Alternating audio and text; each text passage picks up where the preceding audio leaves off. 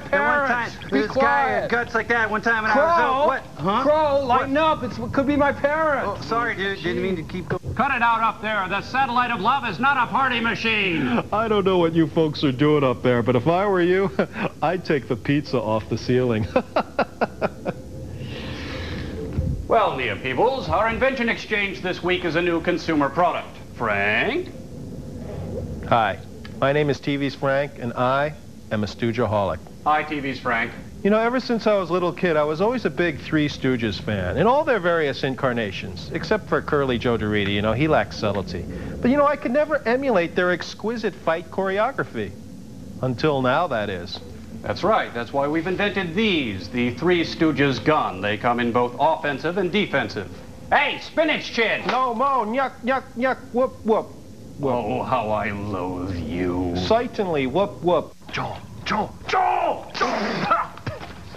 Oh, sorry. Sorry, sirs. Oh, well, my invention this week is kind of based on uh, something I invented during the party. You know how I took Tom uh, Servo and turned him into a root beer pony keg here? I thought I could do the same kind of thing with Crow, the robot. I've actually... Crow, would you come over here, please? I'm not coming out.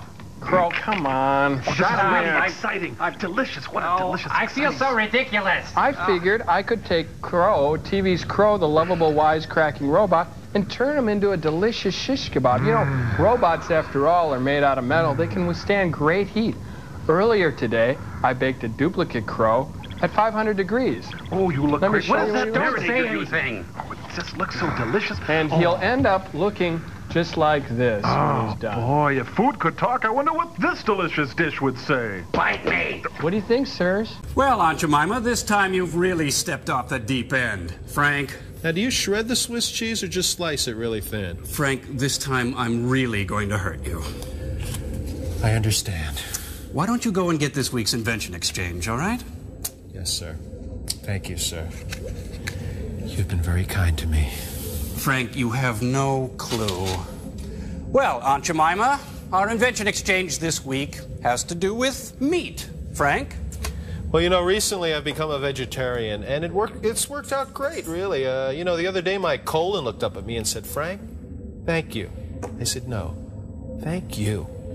But now, what am I going to do with all the meat I have stored in freezers? I figured, hey, why not bring the meat back to life? That's right. That's why we've invented the meat reanimator. Hook it up, Frank. Clear. It's alive! Alive! My corn-fed Minnesota chicken is alive! You know, I thought this was a good idea, but this is one weird mamma jamma. What do you think, Garrick Utley?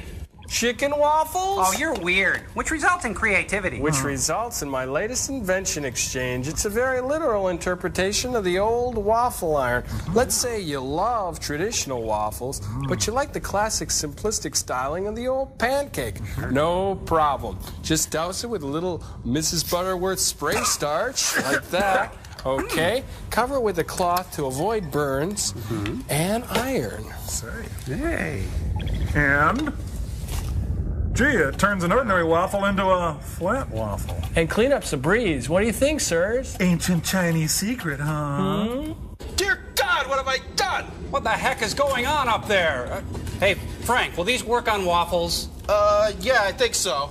Well, Joel, today's experiment is a little piece of slime from Roger Corman called Viking Women and the Sea Serpent. But first, a little lesson in home economics. Here's a waffle for you, Scarecrow. Yeah, let's face it, Sticky Fingers. Waffles are nothing more than a vehicle for butter and syrup. What? They are not. Hey, you watch your mouth around waffles. Ah, I got you! now, Frank, I want you to set this up so they get a high voltage shock every time someone says waffle. What? Has someone been saying waffles a lot?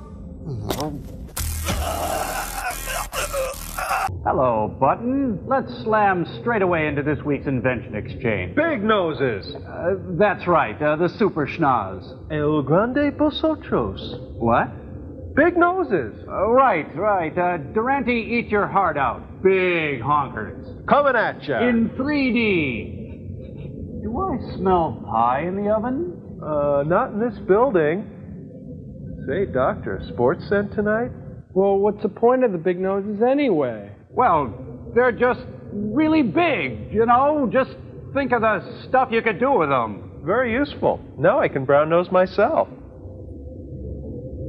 Wow, you and I are kind of on the same wavelength. I thought of my invention exchange as being this big head. Who's that guy with the big head? Hey, Joe, can you help me with my algebra? Sure, no problem. It's a snap with my new big head. Well, say, Joel, do people make fun of you now that you have a big head? Oh, sure, people are naturally curious. But then I explained to them that I've got a really big head. There's no Uh, Joel, are you in any pain? No, just a really big head. Well, I guess we can say that you got a big head there, huh? Yeah, you can. Big as all outdoors. It's real big, sirs. What do you think? I knew a man in Chicago once that had a big head. Uh, no, it was nowhere near that big. Oh, doctor, I don't mean to stick my nose into your business. but shouldn't we really be getting to the movie? right you are, my long-nosed companion. Well, anyway, our invention exchange this week is for family members who won't come in for breakfast. You bring breakfast to them with the breakfast bazooka. Oh, Frank, come in for breakfast. I'm playing. You died, Joe. This delicious meal has a flat trajectory and a muzzle velocity of 2,400 feet per second. It's all part of this nutritious war. What do you think? What a coinky dink. Our invention is based on a similar concept. That's right. It's for the hurried youth of today. So busy, they sometimes forget to stuff their faces with toxic, chemically laced, mm. life shortening sugar snacks. Yeah, it's called the between meal mortar. Check it out. Clear? Huh. Ah! Ah! Oh, that's ah! a live oh, oh, look out, guys! Oh. oh, they say you never hear the snack with your name on it. What do you think, sirs? Well, Julia Childish, your experiment this week is an unwanted, uncalled for, unnecessary sequel to The Amazing Colossal Man War of the Colossal Beast. But first, a little musical nightmare from the Heart of Whiteness. Bon appetit. Oh, cripes, these buffets on my body are so reasonable. you know, Mm, you know, Marge Oh, and I came here one gotta- time. We brought them in, and Oh, you know, I didn't get you gotta fooled up try some of their Rice Mm. Krispies Mm, down by the belly button. Oh, Frank, uh, it's time to reveal this week's invention exchange. Oh, accept the pain, Frank. You've heard the expression, that's a hard pill to swallow. Well, our invention exchange this week is just that some hard pills to swallow. You see this pill right here? That should be easy to swallow, shouldn't it, Frank? Yes, it should be easy except for the three pronged fish hook attached to it. Uh, this pill, I'm not going to kid you, this is very difficult to swallow. It's a not so tiny time pill complete with a living gerbil. Terry, no! Oh, Terry, yes. If you can keep it down, you have a pet that knows you inside and out. Uh, turn Frank and cough. If you have trouble keeping one pill down, try our pill necklace of picric acid. 105 capsules on a string. Keep your gag reflex active till the cows come home. The longer it takes to swallow, the harder it gets. Yes, and the children, the children love vitamin shapes, like shaped like cartoons, whimsical shapes, whimsical shapes. And wouldn't it be hard on all those Flintstone kids if their favorite cartoon vitamin came, turn Frank, life size? Hmm? Hmm? Balls in your court, Joel.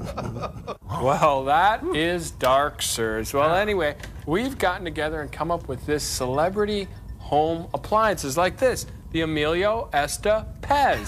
Just lift his head, and out comes real Pez. Hey, tastes like real chalk. Like I said, real Pez. Hey, check it out. Here's Tom Servo modeling the Jimmy J.J. Walker. Keeps me walking, standing upright, turns an ordinary stroll into dynamite. Hey, go on the Sullivan Show and get canned with this, your own Jackie Mason jar. Who's lifting my top? A Gentile would do it differently. He's lifting my top. It would be the thrill of his life. A Jewish man could lift the top and say, Oy vey, I'm a Jewish. I'm canning tomatoes. I don't understand it. I got a Mason jar. And finally, massage a friend with this, the Charlie Callas massager.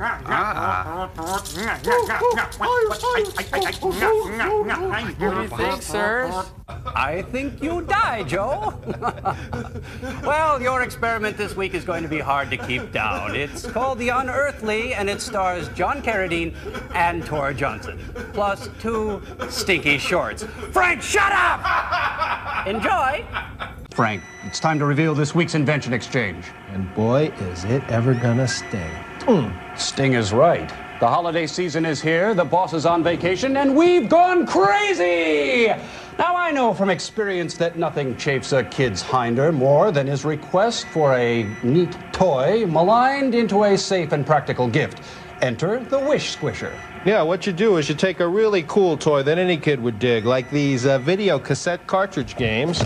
You take it, stick it through the wish squisher. And it comes out as annoying and practical as any gift from Aunt Vida. Check it out underoos that won't fit for two years. And what kid wouldn't love as a gift? More money than he or she will ever deserve. But then, suddenly, it starts to get weird. The rules change. You start to feel kind of bad. Voila! What was once the bright promise for the future becomes your four year old sister's raisin collection. And nothing, and I mean nothing, is more fun than racing slot cars, just like this one around the Christmas tree. But no! What was once your first draft grade A choice from your parents as a gift becomes socks. Socks, ladies and gentlemen. Yes, what was once crummy, speedball, black and green, rayon encrusted, uncomfortable socks becomes. Run it through again, Frank. Okay, running it through wish squisher. Yep, it becomes. A gift certificate for a stationery store. Joel? You know, Joel, I was wondering, do you think if they sent that really crummy gift through the machine again, it might turn into something neat? Hush, boy. You'll anger the overlords. Hello, sirs. Our invention exchange this week is based on our Yuletide musings about what would be on the island of misfit toys, based on Rankin Bass's production of Rudolph the Red-Nosed Reindeer. Whoever Check it- heard of a Charlie in the box? Exactly. Check it out. Here's a new contribution. Uh, buttery sweet toaster dolls. Yeah. Yeah, or play Patrick Swayze's Roadhouse board game. Become a highly paid Tai Chi wielding, philosophically alert bouncer like Patrick Swayze in Roadhouse. Shake the dice. Get in a potentially dangerous situation and use the catchphrase cards to lash out at your opponents with sayings like, It's my way or the highway. Hurts, don't it? And you're my new Saturday night thing. Or you can have absolutely no fun whatsoever with this Easy Bake Foundry. The light bulb powered blast furnace turns inexpensive pig iron you find around the house into high grade steel that's ready for market. Okay, and uh, what do you have for us, Gypsy? What? Oh, come on, open your mouth. Come on. Oh, oh my God. Yeah, got a hairball. Oh, no, it's not. It's Gypsy's contribution to the new Island of Misfit Toys, Mr. Mashed Potato Head. Oh, puke. Ugh. What do you think, sirs? Come in, Joel, my little space guy, my little uh, man who's trapped up there, my little person who we control in a funny kind of way. Why don't you hit the sack, Frank? I'll take over from here, okay? Thanks, Dad. Well, Joel, we're going to swing right into this week's invention exchange. Frank? You know, when you've been hospitalized as frequently as I have, the same old hospital food gets to be a real drag. Particularly the flavorless swill that they pump intravenously into your arms as you drift in and out of consciousness. That's why I've invented these new tasty boil in the bag intravenous dinners. Who says a coma can't be delicious? That's right, no more glycopyrrolate administered drably at 0.8 milligrams per liter of Ringer's lactate. This is hearty Irish stew with cubed lamb. Mmm. And this is a delightful uh, Poulon Vin Rouge that we have here. Is that tine I'm tasting? 60 parts per million, Frank. Uh, here's uh, cauliflower. And uh, would you like to see our dessert cart? Should I? Well, we have uh, Calimyrna figs in a port sauce that's very tasty, or uh, almond cake with apricot coulis. It's really decadent. okay, you talked me into it, but please, small portions. what do you think, Joel? I don't. Whoa, good one. Yeah. Anyway, thanks. Um, our invention exchange this week, sirs, are based on the old classic pop-up books we had when we were kids. But now that I've grown up, uh, my tastes have changed, and I like a more sophisticated fare. So we all got together and came up with some pop-up books for some adult titles like uh, Charles Dickens' uh, Great Expectations. Oh, look at it that. out. Isn't that See, sweet? yeah. Birthday cake with That's rats lovely. on it. Oh, uh, there's the pop-up version of Tolstoy's Anna Karenina. Oh, this is one of my favorites. Ooh, See? That's the end of the book. And for that touch of despair, there's always Albert Camus' classic The Plague. Ah, complete with That's how that goes. Uh, and I made a special one, uh, pop-up version of William Burroughs' Naked Lunch. Oh, no, no, I- no, no. I don't think we Okay. should. That wouldn't be right. Sirs. Joel, I was just fluffing Frank's pillow. Uh, well, your, your movie today is, is really bad. Uh, it's called Master Ninja uh, 1, I think. Enjoy. Push the button, Frank. Jello today. Oh, right, I'll get it. Oh, oh, oh. Very nice, Joel. Uh, downright funky. Isn't that right, Doctor? I had Jello today. I'll push the button. Uh, um, I'll be right back. Yeah, well, should we show him ours? Oh, yeah, uh, good plan. Um, uh, hey, sirs, uh, we have our own invention this time. Uh, Cambot, uh, move it in here. Right here in the my hand. Cambot. See it? See it? You see, it's a new long-distance telephone transducer that operates at 7 ohms in a nominal temperature range of 0 to 50 degrees Celsius. Yeah, it's a mark, uh, marked improvement over the old configuration that often required over 25 seconds to connect transcontinental signals and uh, does so at half the cost. And it's completely solid state. Mm-hmm. You see, the chip sees a telephone signal as a series of ones and zeros, Hey, which you are guys, the. I found it. Here's the invention exchange. It's called the Big Head. Uh, Joel, we, uh, we did the big head already. Really? Yep. Uh huh. Uh huh. Yes, uh, well, let's uh, press on, Dingleberry. Our Hey, who's that guy with the big head? Cork it, Larry. Our experiment this week is in honor of your horribly stinky film. We all remember and love the antics of comedian Joe Besser on the old Abbott and Costello show. Well, we can relive those moments with my new stinky bomb.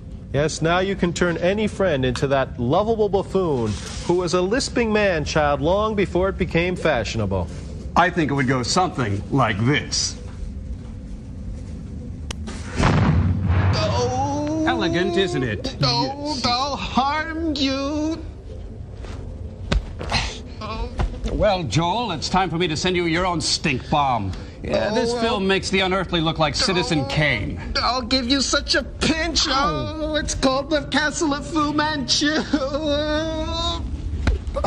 Take a tall oh. drink of gray water, Joel. It'll help you get in the mood. Send him the film. Oh, what if I don't want? What if I don't want? Ow! Oh, oh, I'll harm you. Well, Joel, I'm going to come right out and say it. I really like buffet dining, although it can be a dream come true. Sometimes it's quite tiring. That's why we've invented the new conveyor belt buffet. Swiss steak, Frank? Oui, oui, monsieur. How about some southern baked ham? I've always depended on the kindness of caterers. Juice? Mmm. What about mashed potatoes? Mashed enchantment. And for those of you who like truly fast food, you've never seen food this fast No, I'll just before. I'll just have some, uh, and then I'll take a little, and then I'll with the and. Well, Joel, not only have we invented the world's fastest buffet, we've invented a Lucy sketch. Back to you, Desi Lou. Yes, your grouchinesses, sir. This week we've got a green experiment that's based on those New Age pioneer friends over in Biosphere 2. And it uses a power source that's available in just about any home in the USA, and that is the gerbil. Or a smallish hamster, either one. Right, exactly. And uh, what this is is a totally self-contained, self-perpetuating biosphere environment for the gerbil of the not-so-distant future. I like to call the gerbil sphere 2. Okay, you want to take it part way there, Tom? Sure thing, Joel. Now, the central element in our holistic environment is the common running wheel. As our furry pioneering friend turns the wheel, the log, here, is propelled through the wood lathe, resulting in, of course, the wood chips down below that you see, which encourages the gerbil or hamster to uh, poop. Right, and that fertilizes the. The uh, field of alfalfa, right. which we see here, the sprouts growing at just the proper rate to keep the gerbil nourished but not obese. Dr. Crow? Uh, yes. Uh, now, every three years, we will rotate in some soybeans. Uh, we didn't do that originally and accidentally destroyed all the topsoil. Oops. and, uh, of course, another minor problem with our perfect system is that the CO2 released by the alfalfa can at times combine with certain undesignated elements, causing an uncontrolled thunderstorm in the upper reaches of the perfect But, system. but we have installed the air cleaner up here that we Yes, believe will rectify the. CO2 condition, uh, which we must remind you is only sporadic and which we do not believe interferes in any significant way with the wholeness or perfection of our system here. no. You know what? There's so much uh, torque involved with this. Uh, this little running wheel, I, I, I have a feeling we're going to need a gerbil that's at least 20 pounds, though, to fit in. Uh, 23. yeah, our people are working on it. Uh, We have a, thinking maybe a motor. Seems like kind of a jip.